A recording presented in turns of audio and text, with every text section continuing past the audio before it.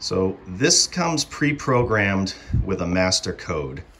And what the master code is, is it's not gonna unlock the door, but it is basically like the password to be able to program this. So if you think about going on YouTube, you enter your password and it unlocks YouTube.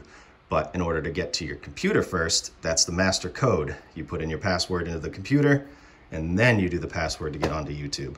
So the master code that is factory set for this is 0000. So anytime you're gonna do some programming, you need to enter that code.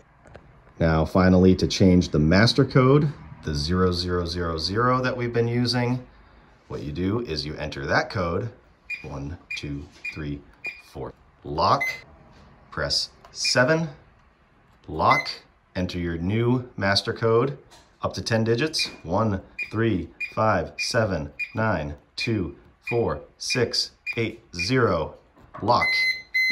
If you wanna be real secure, you can go up to 10 digits. So now anytime you wanna program this, you need to enter that insanely long code